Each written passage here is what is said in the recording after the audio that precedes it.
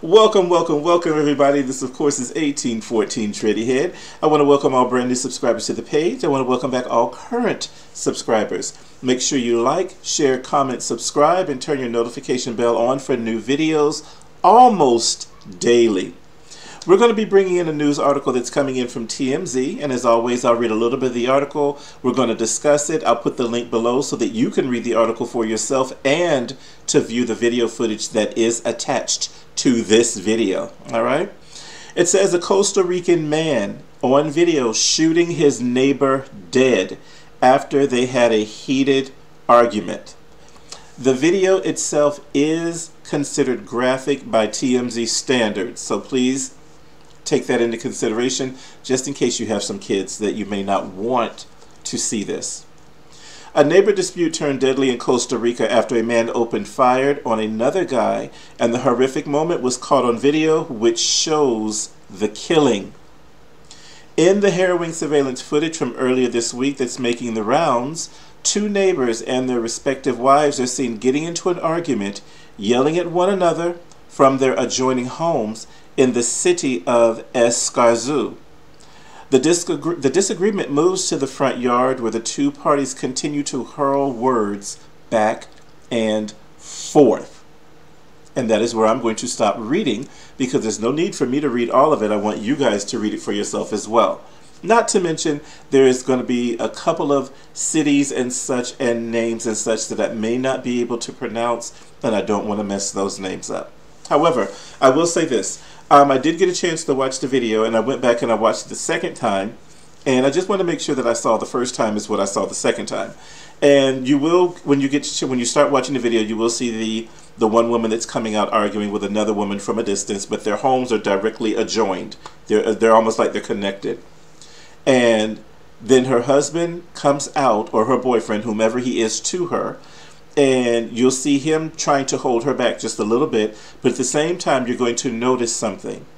He had a gun, and he made sure that he, I'm thinking he must have forgot that there was a video camera because you see him take the gun out and he's getting the gun ready so that all he has to do is just start shooting it and the safe so I'm thinking he took the safety off and then he put it back in the front part of him when the other woman that she was arguing with came from her distance, she came closer. They, the two women were still arguing. The men started arguing because the man came out with her. The man from a distance came to the other man and he threw the first punch. When he started throwing the punch, the man that had the gun pulled his gun out and started shooting immediately. So it would be second degree or some could say premeditated. Actually, it may, it may end up being considered premeditated, depending on how their laws are, because you clearly see him with a gun. He already had it on him. He got it ready. So, and when he started shooting, that means he, he took the safety off of it, uh, from what I'm looking at, the way that I'm looking at it. And he started shooting, and he kept shooting, and he killed the neighbor until the man was dead. He shot like, what, I think like four or five times. You just hear it pow, pow, pow, pow, pow, and you hear the woman screaming. Now, the reason I wanted to do this article is I have had many arguments with my neighbors in this neighborhood that I'm currently living in. And we've been in this house for over 30 years. And the neighbors that don't seem to care for me or my mom or my family, these are neighbors that don't like us only because we keep to ourselves. We don't bother anyone. We don't go to their homes. We, we will say hello if we need to say hello or goodbye or whatever, but that's as far as it goes. Other than that, we don't communicate because we know how people can be.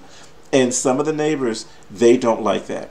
So what they did was the ones that are close to us, they try to go into bully mode. They want to have their kids run in your yard, mess up your plants, mess up whatever they can. And then when you say you need to stay out of my yard, you need to stay across the street, then they want to try to turn it into more than what it is. So I've had these heated arguments. I've been out in the street waiting for someone to put their hands on me. I've been threatened with everything. I've been threatened by boys. I've been threatened by men. I've been threatened by women. I've been threatened by lesbians. Yes, you heard me. The lesbian who used to live in front of us. She was mad because her kids can't come over and mess up in my yard. I told them to stay out of my yard and leave my stuff alone. They went and told her.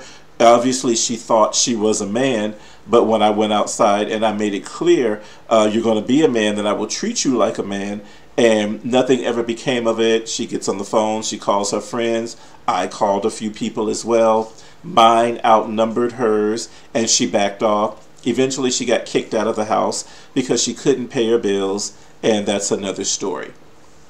The moral of this is this we all have choices, and the choices we make can be our final choices if we are not careful. In my crazier days, I was that one who would go out in the street to meet you. I was that one that you, if you dared me to come outside, I'm going outside. These are the kind of choices that can take your life because you don't know what the other person has for you. They may or may not have a gun. They may or not have a knife. They may or may, may, they may or may not have something that can end you, is what I'm saying. So thankfully, as I've gotten older, I don't do a lot of that arguing and stuff anymore. You just call the police because that's what they're that's what they're paid for.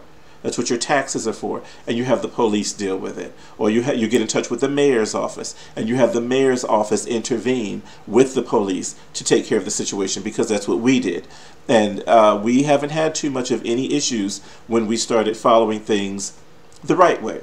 The wrong way was me going outside, getting ready to fight someone, and ready to knock somebody's head off because they think they're going to bully me or they're going to scare my mom or they're going to run my home. And when they saw that none of it would work, then I started getting older and older and older. And I'm like, I can meet you. I can meet you outside. I'm waiting for you to jump on me. You've been jumping on me for over 20 years. Um, and this is a Puerto Rican guy who lives across the street, one house over. He's like the street bully. And I'm one of the ones that he can't bully. Um, but neither here nor there it's all about the choices that we make and what we're going to do. And thankfully, I've gotten older. I don't do that anymore. Call the police. I contact the mayor's office, get everything involved the right way. They take care of it, and it has died down to the point to where we don't have these issues anymore because they know that we now have a connection with the police, the sheriff office, and the mayor's office. Not to mention, I used to work at the mayor's office, so I had a few connections in there that I can work in my favor that they didn't know that I have. Now, in this case, I don't even need to know what they were arguing about. I'm sure that a gun was not needed. However, I know that someone will see the video and they will say, well, Dready, it's self-defense. He had every right to defend himself. Well, you brought a gun to a hand fight, a fist fight. And I'm thinking the only reason you would have the gun is because you know that you don't know how to fight so you use the gun to fight for you. Hopefully, he's a licensed carrier. Um, I'm sure that they will look at it as self defense because the man did put his hand on him first, and we see where that goes. This is 1814 Dready Head. I want you guys to watch the video. Watch it carefully. You may have to watch it a second time and then you come back and tell me how do you feel about this? Because sometimes all these arg- all these arguings and stuff when it comes to neighbors and property and and I kept seeing them I kept seeing them point towards the yard. So I'm thinking there was there must be a property line dispute of some kind because a couple of times it was like they were pointing towards the yard. It's like you know you stay on your side I stay on my side type of a deal. I'm thinking that could have been the gist of what maybe some of that was about by the way that they were pointing. But at the end of the day it's not worth losing your life over it really isn't. This is 1814 Dready Head. I'm going to put the link below so that you can watch the video and you let me know what you think after viewing the video and reading the article. I'll see you guys soon. Take care.